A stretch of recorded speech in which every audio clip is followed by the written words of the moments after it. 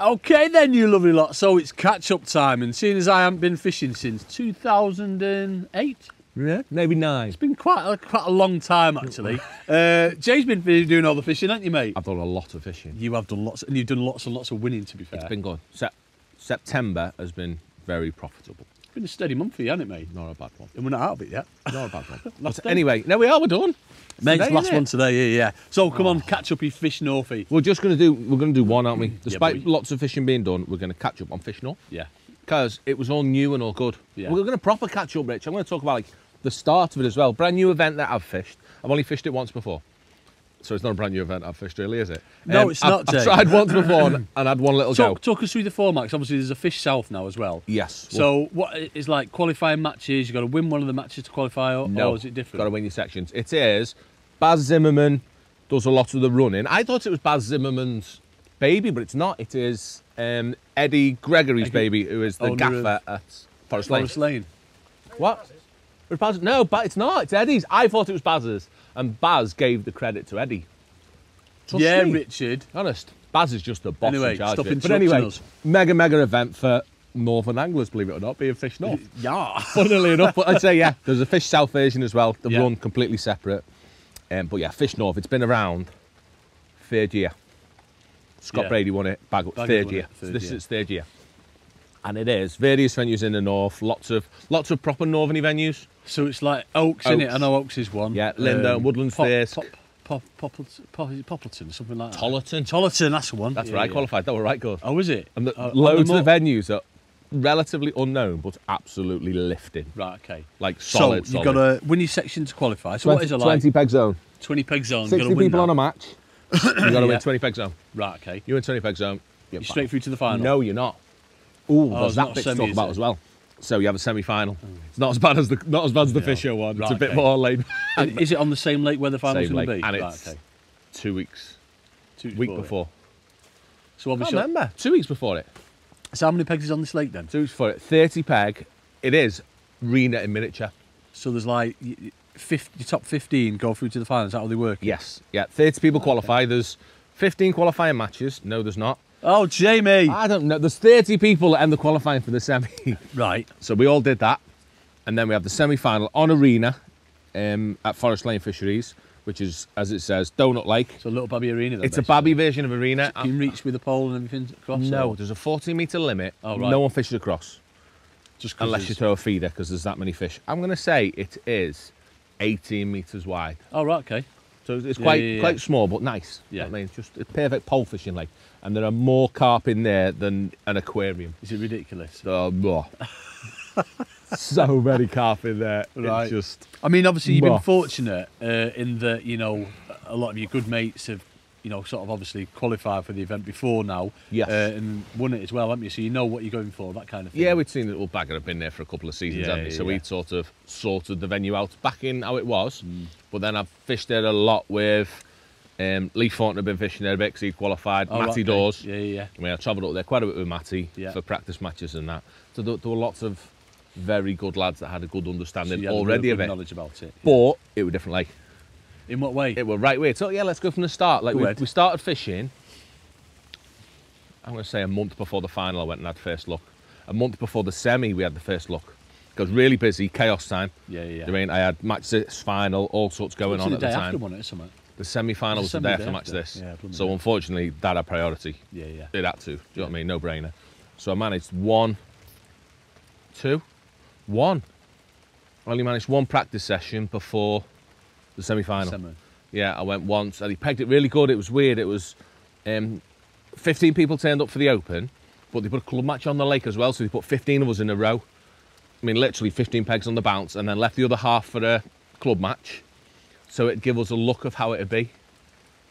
Yeah, because the semi final it was going to be every peg in. Yeah. So they put 15 of us all on 15 pegs in a row and left the other half empty for this club match. There was half a dozen of them over there. So it was every peg where we But were. one, one of the 30 in the semi. Could have done this on my own, couldn't I? Nice and simple. Wasn't the straight 30 through. on the semi final? Yeah, but this is a practice match for it. Oh, right, before it. okay. Right, yeah, yeah, yeah, yeah. Right, go ahead, Jay. I'm with you now. I'm with Right. you. So there's 15 of us in a row, so it became very similar to how it'd be. Right, yeah, yeah, And I was horrendous. yeah. Yeah. No, like bad. But I'd never been, so it was like the But was it carnage? Was it how you'd expect it or worse than what you'd expect then? yeah, it was faster than what I expect. Right, But okay. Do you know what it, it Well, that's became? why that's why you have them practice matches. yeah, so you see the, like. the biggest lesson that I've never known a venue like it. It's back to front. In that it's solid to start and gets worse all day. oh right, okay. And if you're not on it, that first hour, the biggest lesson I ever learned at Forest Lane was you uh, on Arena Lake, you have to be on it straight away in. And if you're not on the right method to begin with, behind from you've lost. Right. You can never catch up because it gets worse. Fish get smaller. It's what it does. And that was my first thing. I, I thought with little carp, I'll go for sharp pellets. Yeah, yeah, yeah. Don't like our pellets. Do they not? They really Do don't like not our like pellets. our pellets? really, That's done really, your head in, hasn't it? really. and did you get told this, or like with people who can catch on our pellets anyway? Well, Matt, Matty said he was fishing maggots or paste. Paste was a big thing because Phil Sellis was winning Oh, all yeah, the yeah, opens yeah. fishing paste. Right, okay. I ain't doing that. No. You wouldn't have thought it'd be quick enough, would you? Like pacing and putting it on, and Yeah. you know what I mean. It was steady. It was good for couple hundred pound that they were catching. and what was pellets like then? You're just not interested in move. it, or It didn't move. Right, I went in with hard pellets. I went too deep to start with. I went like top kit and half. I didn't move. so by this stage, obviously people are I'm catching as well. 20 you're fish behind in the first half hour. Right, okay. So already done. And I not what you want in the fish race, Jay lad. No, definitely not. And I'm, I've got a line there, a line there, a line Oh, there, all over a line place. further. Couldn't be worse with what I was doing. Right, okay. Horrendous. But it was first time, so it was feeling your way in. Yeah, yeah. yeah. So I ended up, I caught 120 odd pound in six hours, mine. So have you sacked pellets off and then gone to just maggots? as maggots long right. on deck. Right. And I caught loads of fish. I probably got the most fish, but completely wrong stamp. You missed out on them at the start. Yeah, I just missed that. I was just really, really, really bad. So yeah, man. after that, um, made the final on the Saturday, Yeah. set up there on the Sunday for the semi final, every peg in.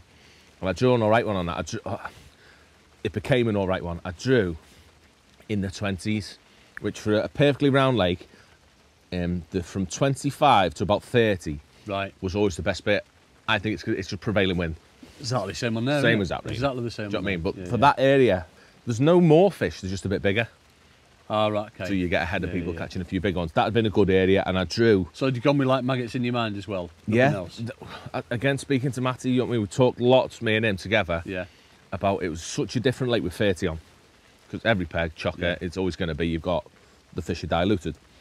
We still felt the maggots were never the right way of winning a match, but they were guaranteed Good way of getting through. catching, getting through. Right. Yeah, guaranteed to get through. And at that point, we hadn't, we knew nothing about the lake. Then we were rubbish. We were so far behind. But I, I don't believe anyone was. No one had it right because it changed again from then. But I snuck through. I had ninety pound on the semi. I came fifth with ninety pound. Right. Okay. James Howarth won it um, on 25, 26. I think he had 116. Right. Oh, so you weren't far behind. Them, Wasn't silly. No, they were like Right, four okay. pounds, and then I was fifth with 90, 90 or ninety five. I forget. So dead happy. more sort of like Job done. relaxed fishing, though, right? Isn't it? Then, No, because it's the same again. Chaos. just carnage nothing. and then nothing. Oh, right, Oh, they, okay. they, they go. They start that big, and it's one a minute, and then as you go out, I'll talk about how we fish it in a Yeah, bit. yeah. But they get smaller, and it goes slower. It's mad, isn't it? Throughout the day, so weird, so weird. But anyway, onto the day, we fished another practice match. Yeah. Me and Matty went off fish practice match, and then it had all changed to meat. Yeah, paste or meat. I ain't doing paste. So I went there just fish meat, and I was all all lovely. I, I drew around the other side. I drew in the teens, and I fished in the edge and short all day. And great, I ticked over all day, caught loads of fish. I had 170 pounds, 169 pounds something. And I felt it was good. I was like, I was thinking of it the wrong way in that I was blaming that I wasn't up to scratch. Rob Swan with un- 230. Oh, bloody hell. Craig Everett was next to him with 228. And I was And blaming. they're just doing the same thing, are they? No, no. They are just fishing me, but subtleties. You know what I mean? Making it better. Right, okay. And I was being a bit of a dick, and I was going, oh, they're just catching bigger fish. Right. It weren't. Definitely wasn't. They were. There was some bigger fish around there, but they were catching them more, better, faster. So what is it, loose everything. meat? It's not obviously trap setting or anything like that. Well, that's what I. That's the mentality I had. I was Right, going in down the edge because I've had that much down the edge. So it was deep enough, Yeah. and I'm just tapping four in. Or I'm throwing four in, all nice and negative, just getting a bite. Catch. I'm bagging. Nice. Do Yeah, know what I yeah, mean? I've had 170 pound of fish that big. Right. It ain't yeah. slow, No. but I'm catching 40 to 60 an hour the first two hours, thinking that's good. Whereas Rob shouted up, young Rob Swan, young Rob Swan is on. I think he was on 29 or 30 that day, Yeah. and he shouted up, "I've had 100 after an hour and a bit," Flipping it. which all of a s- it makes you think, right? I'm yeah, not. Yeah, yeah, yeah. Not there yet. not doing it positive. Mm. So spoke to Matty all week, spoke to Bennett. They were both brilliant in kick. Oh, Bennett pretty much kicked mine and Matty's arse into not being positive enough at the right time. I mean, it's So not. when a- you're on them fish at the start, you've got to. yeah, it's how quick. Not about being brutal playing them and all of that. It's like when I was fishing down the edge of that the practice match. Yeah. I'd go in, I'd wait a minute, and then want to come in, I'd get a lovely bite, all nice. Rob's waiting three seconds. Yeah, so I've gone a little bit deeper, so there's more fishing peg. So are they fishing more aggressive as well then? Obviously, heavier elastics and that, or Yeah. bigger hooks? That they, they were the steps was to massively Right. increase my feed. So I've got loads of fish in my peg. In, Yeah, yeah. because I only fed five tins in the practice match in five hours, which is a lot of meat, Mm. but it's not. Um, I was fishing little hooks, 16 hooks, Right. tiny. I mean, I ended up swapping to a 12 and a 14. You animal. Big, massive Yeah, this reach. Yeah, proper eh? no fanning about. And I swapped my elastic from the orange, which is a 12 to 14, to a yellow 14 to 16. That's for what you fish that big. carp, isn't it? It's what I use for a big fish. Bloody hell, Yeah. Right, but okay. It's because I never used the puller all day. In final, I never like- used the puller. and just go in. straight through and like that, done. Right, okay. Yeah, One yeah, hit. Yeah. And that's all it became. Just so much more positive. So drew final, drew peg three. Steady area. But I don't honestly think it matters where you're at. You'd have been confident anywhere on there Not so much confident on the morning, but I would now. after what you'd done. Right, okay. It was just Yeah, about yeah. being massively positive Yeah, and man. fishing the right match. Mm. And let's. I've started. I've started on a full top kit, but at, but at an angle, so right on the side of my keep net. And I ended up fishing throughout the match. I fished five lines. I've gone from half a top kit to a full top kit to a short four to a, a long halfway down a long four to a full long four. So I've never gone past rich. That's ridiculous. But isn't it? five lines, and every time you moved, you get a run of like twenty. So is it noticeable when the fish come in? It's like proper carnage. Oh, the you, first- you can tell when it goes quiet that you need to move them. Is yeah, it like that? It almost goes like done. Flipping right way because I'm there half a top getting. I've had hundred and I've had hundred fish in the first hour and ten minutes, Bloody hell, which mate. probably went hundred pound. No, no, they didn't. Then I've gone eighty to ninety pound, Right. uh, maybe hundred, close, ridiculous. And then the next hour I've probably caught eighty down there. You know what I mean? And then it goes slower and slower. Yeah, Every yeah. hour, last hour I've probably caught forty. So I remember Bennett when he won it, he was like catching up and down on maggots when he shallow down yeah, the middle and when they that. were smaller, it's as if now all the fish live on the slope. Just come in and just want to eat and Yeah, some of the lads ended up going. Uh, last hour you'd fish maggots long on bottom yeah. in, in the flat where it's deep. I never had to do that. Right. I fed it slightly. I went on it, didn't catch one. And have you stayed on meat? Have you switched it to maggots as I, well? I've stayed on meat. Just stayed on meat. Quick go on maggots, got one but didn't like it, and I thought I can still get bites on meat just by Catched on meat, cock. catched on meat. Catched on meat, cock. Everyone was like six inches deeper. Right. But you get another run. It's nuts, Let's isn't it? You And it- talked about that loads and loads, haven't you? Especially on the Snake Lakes and having that three rigs for like the different depths. Yeah, this You know what I was the extreme of it. nuts. that. Like a float deeper, and you go from not a bite on that bit of grass there to six inches past, float deeper, Why? 20 and 20 chucks. Why, Jamie? don't know. Just they just want to hang back a bit, don't they? And the bait you're feeding, because you're feeding on top of your float, so most of it does end up past. I mean, you're naturally pushing them there with your feed. You try and feed short all the time to keep Yeah. them in your peg, but it naturally falls that way. Your bait wants because it's quite steep as well, so your bait naturally wants to fall. So when the competition isn't there and when it's not getting cleared up like it is Yeah, on your yeah, top kit to start with, Yeah, it, you push them out. yeah.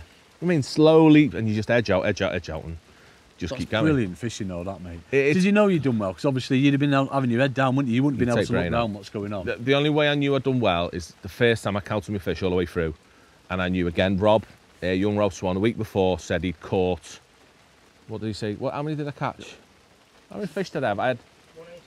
No, no, did he no. He, he had similar numbers to me. I think he had 300 fish. I'm sure Rob had 300 fish. Right, when he had the 200 odd weight. Yeah, and I've ended up with 295 Oh, fish. so you knew. Yeah, yeah, So that's the only way I thought I've got 200 pound. yeah. I mean, I'm in the same area of the lake. I just thought I had 200 pound, and I did. So it was all good. I weighed 230 pound, which were, I think it was 40 pound clear. So Matty was second. Fish? What's that? 60, 70 fish?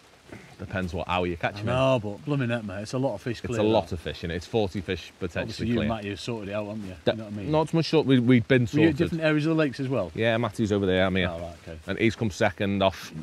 I'd say the only reason Matty's not caught as much as me, I think there's a few bigger fish where I am. And uh, as well, the wind was awkward for them.